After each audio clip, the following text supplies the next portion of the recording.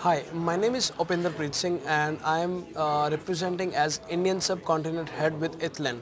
So ETHLend is an Estonia based organization where uh, we are coming up with a solution uh, for lending space. We are creating a de decentralized lending marketplace where we are removing the middle layer of banks, uh, any financial institution or any third party independent financiers. So what we are you know, doing is that we are connecting the lender and borrower directly and where the, nobody will be holding the funds uh, especially we also won't be holding the funds but the blockchain itself.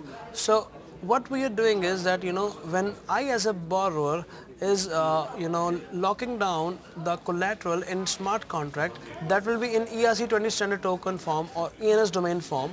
So if I am not able to pay back that loan so my uh, collateral will be uh, you know transferred back to lender based on that condition, certain conditions. It may be time stamped or it may be some other condition that borrower and or lender have uh, mutually decided upon.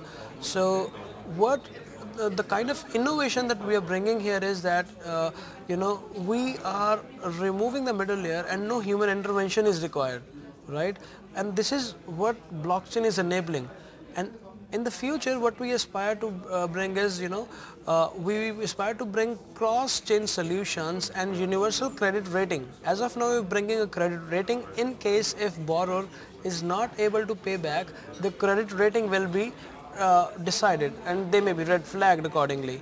And if they uh, do some multiple iterations of uh, successful lending they will get good credit rating and based on that they may be eligible for reputation based lending also in the future and in the future, if we are able to bring the universal uh, credit rating system on cross-chain platforms, so in that way, nobody will be able to exploit the other blockchains if they have a bad credit rating on ETHLend platform itself.